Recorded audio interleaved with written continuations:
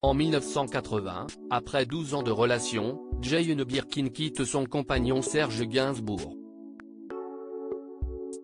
La chanteuse britannique, alors amoureuse du réalisateur Jacques Doyon, ne supporte plus l'attitude du mythique artiste, colérique et rendu agressif par son alcoolisme.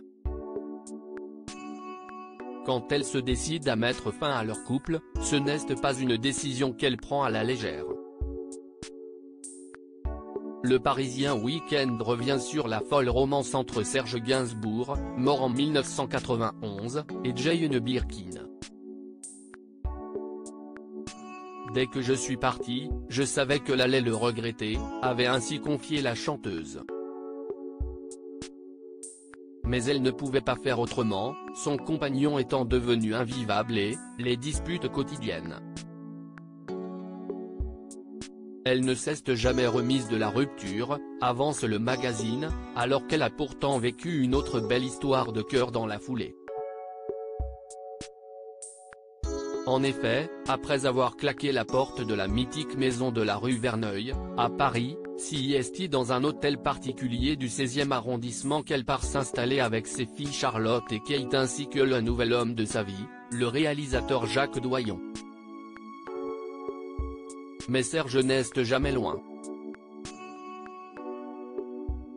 Jane l'appelle tous les jours, s'inquiète qu'il se nourrisse bien et boive de l'eau lui débarque parfois à minuit pour dîner rue de la Tour, la nouvelle adresse de son ex, note de la rédaction, lit-on. Par-dessus le marché, quand Jane Birkin donne naissance à sa fille Loudoyon, en septembre 1982, soit deux ans à peine après leur rupture, elle fait de lui le parrain. Il devient inévitablement un membre un peu envahissant et reste un pivot de sa famille recomposée. Musicalement aussi, Serge Gainsbourg ne quitte pas vraiment Jane Birkin. Non content de chanter son chagrin dans ses propres chansons, il va alors réaliser trois albums supplémentaires pour la chanteuse, jusqu'à sa mort en 1991. Depuis le décès de son ex, Jane Birkin, qui se remettrait bien d'un AVC, n'a pas remis les pieds dans leur ancienne demeure que sa fille Charlotte cherche à transformer en musée.